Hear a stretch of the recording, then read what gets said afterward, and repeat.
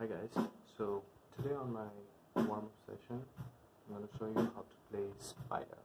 So Spider is basically the same sequence as Chromatics, but all you need to do is you have to change the second and the fourth note.